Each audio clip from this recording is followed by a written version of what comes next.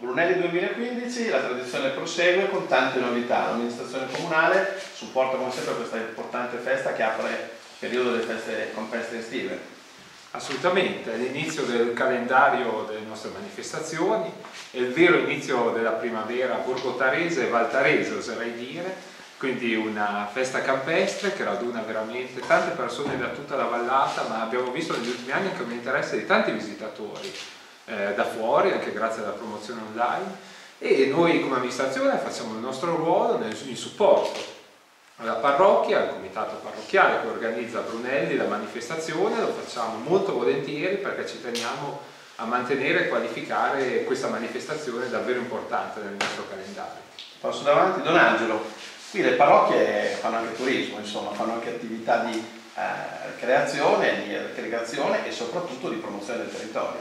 Intanto invito tutti alla celebrazione al mattino, non c'è salame lì, eh, però eh, c'è la, la, messa e poi la processione, perché eh, le feste nascono soprattutto per dare eh, valore al, al, momento anche di ricerca di senso, perché la religione serve a trovare il senso della vita, quindi è un, un grosso una grossa opportunità in un tempo in cui si perdono anche dei riferimenti.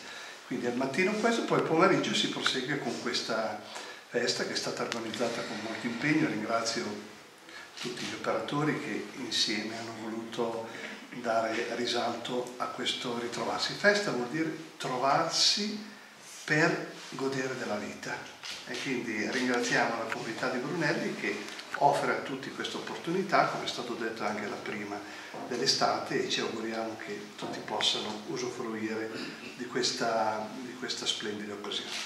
Tu sei la più giovane, eh, c'è un po' di... Allora, c'è come tutti gli anni la gara del salame, della torta d'erbe e ci sono altre novità, eh, anche in caso di pioggia ad esempio abbiamo il tendone, dunque siamo tutti al coperto e vi aspettiamo questa domenica alle ore 15. Ormai hai detto tutto, eh? c'è anche una bella lotteria, sì. quest'anno ci sarà un pochettino più da mangiare, un pochettino più da bere, o sbaglio? Giustissimo, abbiamo una lotteria con eh, tanti premi e